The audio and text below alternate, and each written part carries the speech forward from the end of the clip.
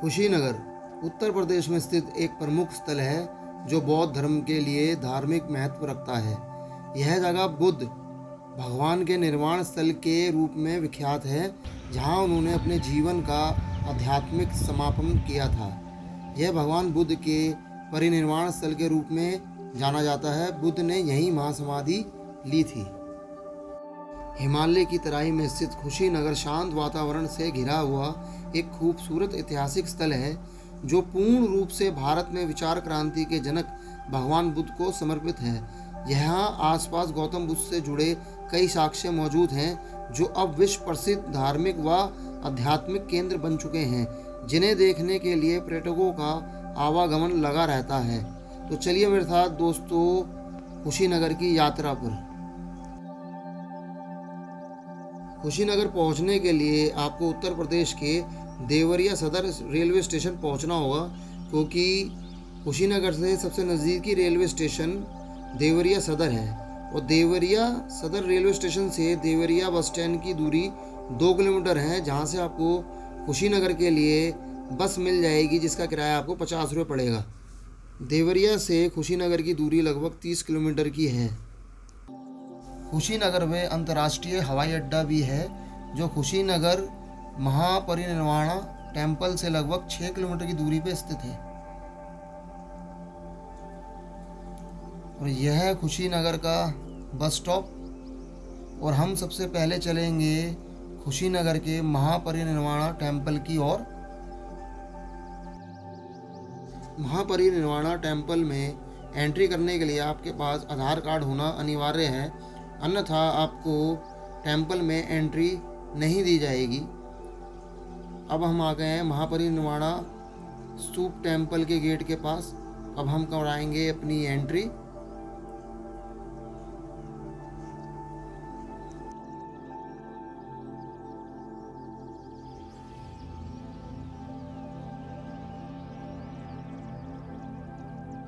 भगवान गौतम बुद्ध का जन्म चार सौ तिरासी ईसा पूर्व तथा महापरिनिर्वाण पाँच सौ तिरसठ ईस्वी पूर्व में हुआ था।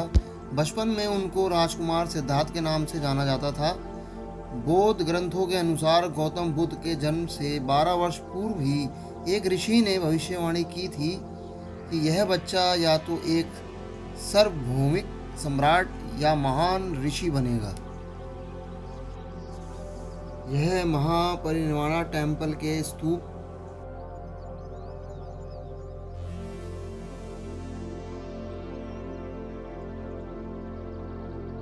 भगवान बुद्ध के काल में यह स्थान महाजनपदों में से एक था। तब कुशीनगर पर मल राजाओं का शासन था। छठी शताब्दी की शुरुआती दौर में यहाँ भगवान बुद्ध का आगमन हुआ। बताया जाता है कि यहीं उन्होंने अपना अंतिम उपदेश दिया, जिसके बाद भगवान बुद्ध ने महापरिनिर्वाणा को प्राप्त किया। कुशीनगर में बौद्ध धर्म के साथ साथ जैन धर्म का भी महत्व बढ़ा। यहीं पर जैन धर्म के चौबीसवें तीर्थंकर महावीर ने अपना अंतिम समय बिताया था। यह परिनिर्वाणा स्तूप। इस मंदिर में भगवान बुद्ध की 6.1 मीटर ऊँची मूर्ति लेटी हुई मुद्रा में रखी है। यह मूर्ति उस काल को दर्शाती है, जब 80 वर्ष की आयु में भगवान बुद्ध ने अपने पार्थिव शरीर को छोड़ दिया था और सदा सदा के लिए जन्म और मृत्यु के बंधन से मुक्त हो गए थे। यानी उन्हें मोक्ष की प्राप्ति हो गई थी। भगवान बुद्ध की इस मूर्ति को लाल बलुआ पत्थर के एक ही टुकड़े से बनाया गया था। इस मूर्ति में भगवान को पश्चिम दिशा की तरफ़ देखते हुए दर्शाया गया है, यह मुद्रा महापरिनिर्वाण के लिए सही मानी जाती है। हालाँकि बुद्ध ने निर्माण प्राप्त कर लिया था, लेकिन उनके शरीर के अनमोल अवशेषों को बुद्ध के प्रतीक के रूप में पूजनीय माना जाता था। कुशीनगर के मल्लों ने एक विश्वव्यापी राजा चक्रवर्ती के अनुरूप समारोह के साथ उनके शरीर का अंतिम संस्कार किया। अंतिम संस्कार की चिता से उनके अवशेषों को एकत्र कर उन्हें आठ भागों में विभाजित किया गया। भगवान बुद्ध की अस्थियाँ आप आज भी देख सकते हैं, जो दिल्ली के राष्ट्रीय संग्रहालय में रखी है। साथ ही उन्हें कपिल वस्तु अवशेष के रूप में जाना जाता है, क्योंकि वह बिहार के एक स्थान जिसे कपिल वस्तु का प्राचीन शहर माना जाता है, वहाँ से प्राप्त की गई थी। महापरिनिर्वाण टेंपल का खुलने का समय सुबह छः बजे से रात के आठ बजे तक है। महापरिनिर्वाण टेंपल में पर्यटक इन कपड़ों पर अपनी प्रार्थना लिखते हैं। तो चलिए दोस्तों, महापरिनिर्वाण टेंपल से हम चलते हैं, जैपनीज टेंपल की ओर, जो महापरिनिर्वाण टेंपल के एकदम समीप में है। यह देखिए दोस्तों, जैपनीज टेंपल जो कि कुशीनगर का एक महत्वपूर्ण टेंपल है, भगवान बुद्ध का। जापानी मंदिर खुलने का समय सुबह के 10 बजे से शाम के 5 बजे तक है। इस मंदिर के परिसर में भिक्षुओं और धार्मिक व्यक्तियों की प्रतिमाएँ लगी हुई हैं, जो आध्यात्मिक वातावरण को बढ़ाती हैं। आतोगा ईशन ने इस मंदिर का निर्माण विश्व बौद्ध सांस्कृतिक संघ द्वारा किया गया था। जिसे जापानी राजशाही द्वारा उदारपूर्वक वित्त पोषित किया गया था। मंदिर में एक अनूठा गोलाकार कक्ष है, जिसमें भगवान बुद्ध की स्वर्ण प्रतिमा है। छवि को एक छोटे से ग्लास खिड़की के माध्यम से धीरे धीरे प्रकाशित किया जाता है, जो इसे पर्यटकों के लिए एक सुंदर दृश्य बनाता है। कुशीनगर के कुछ दिलचस्प पर्यटक आकर्षण में से ये जैपनीज टेंपल भी है। जापान से जापानी मंदिर अष्ट धातु या बौद्ध की आठ धातु की मूर्ति को कुशीनगर में विच्छेदित किया गया था।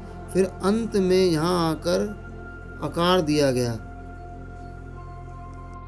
और वाकई में ही जैपनीज टेंपल बहुत ही अद्भुत और बहुत ही सुंदर है। जो आपको खुशीनगर में एक बार आकर ज़रूर देखना चाहिए।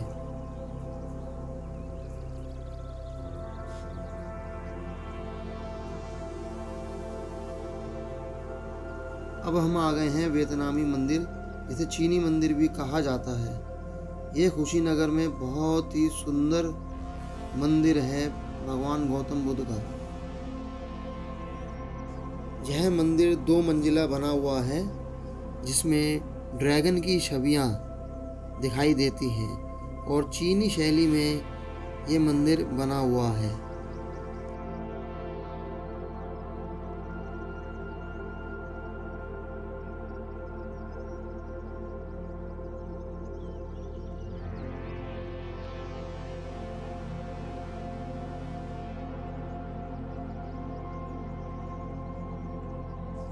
चलिए अब हम चलते हैं ऊपर की मंजिल में।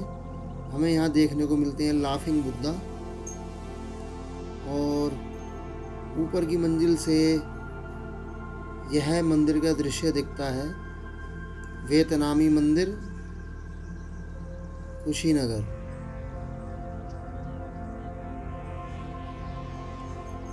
और ये ड्रैगन देखिए, कितना सुंदर दिख रहा है। ये ऊपर की मंजिल में ये स्टैचू हैं जो स्वर्ण प्रतिमाएँ नज़र आती हैं वियतनामी टेंपल में। चीनी मंदिर के परिसर में भगवान बुद्ध के चार महत्वपूर्ण तीर्थ स्थल हैं। चलिए हम उन्हें देखते हैं।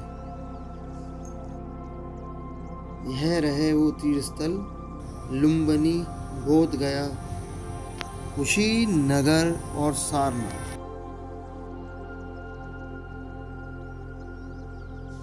कुशीनगर में आपको ठहरने के लिए धर्मशालाएँ और होटल्स मिल जाएँगे।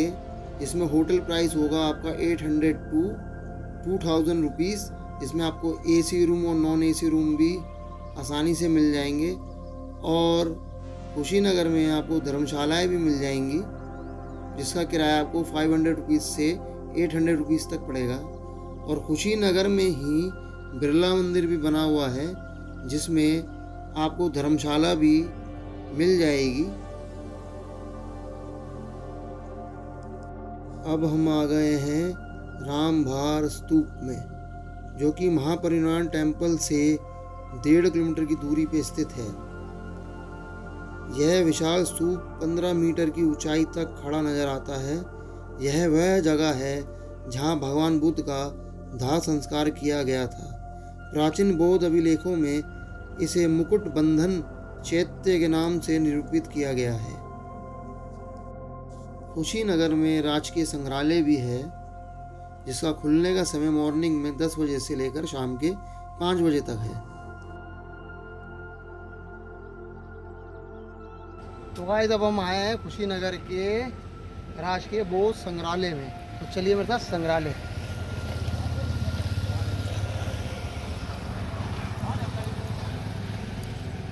संग्रहालय में घुसते ही आपको सुंदर सा ये पार्क दिखेगा, जिसके अंदर एक बड़ा सा कछुआ है, पत्थर का। और ये राजकीय संग्रहालय का एंट्री गेट राजकीय संग्रहालय की टिकट है दस रुपये प्रति व्यक्ति। और अगर आपको फ़ोटो खींचनी है तो आपकी बीस रुपये की टिकट और लगेगी। आप संग्रहालय में वीडियो नहीं बना सकते। इस राजकीय बोध संग्रहालय में आपको, स्टार्टिंग में आपको हमारे स्वतंत्रता सेनानियों की झलक दिखेगी और इसमें साथ ही साथ आपको मौर्य काल की समय की मूर्तियाँ मिलेंगी और गुप्त काल की और साथ ही साथ आपको 500 से 700 साल पुरानी मूर्तियाँ भी देखने को मिलेगी। और भगवान गौतम बुद्ध के जन्म से लेकर उनके महापरिनिर्वाण प्राप्त करने तक की बहुत सारी आपको तस्वीरें देखने को मिलेगी इस संग्रहालय में। और खुशी नगर यात्रा का आपका टूर बजट दो जनों का लगभग पड़ेगा आपको छः हज़ार रुपये जिसमें आपका आने आने का, रेल का किराया, होटल एंड ट्रांसपोर्ट और आपका खाना पीना शामिल है खुशीनगर में किसी भी टेंपल में आप निशुल्क घूम सकते हैं, यानी आपकी एंट्री फ्री है, बस आपकी आइडेंटिटी आपके पास होनी चाहिए। तो अगर आप सबको मेरा ये ब्लॉग अच्छा लगा हो तो आप मेरे चैनल को सब्सक्राइब करिए लाइक करिए और शेयर करिए।